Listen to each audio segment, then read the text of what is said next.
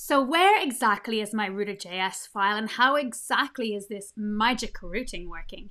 So um, earlier we kind of just created a very simple application. We created an about page. We can click to the about page and we can click back to the home page, right? Really, really, really simple. So let's have a look at what exactly is going on in your application. And it really is, yeah, I mean, it's magic, but it's not really magic. Um, so basically, when we run the dev command, um, so yarn dev or npm run dev, and we have our application in development mode, we get a .nuxt folder. So this is created for us every time we create something, do something in our application. So in here, we actually have our router.js file.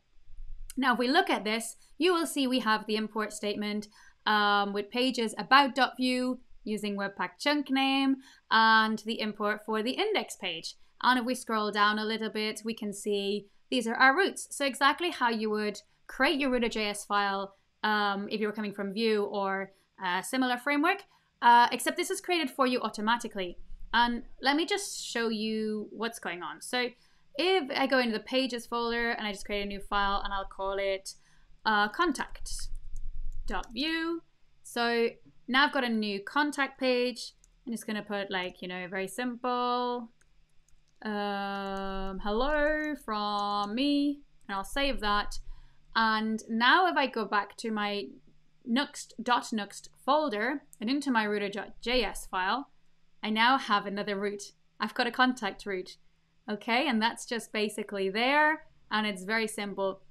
So this file is great for debugging or for seeing what's going on or so you understand what's going on. But if I was to like change anything from help, so I could change that, for example, you know, this is going to be overridden. Um, so it's only for debugging and it's not really going to to help me much in the sense of like that page is not going to exist, right?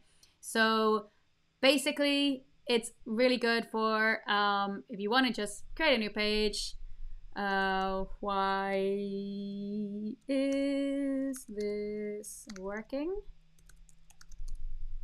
I can create a page and I can see in my router.js file the page exists. And that's basically uh, a good way of understanding the path to your routes, um, how it's working. But remember that that file, that folder is recreated every time we run the dev command. So you don't have to maintain it. Just letting you know it exists in case you're curious.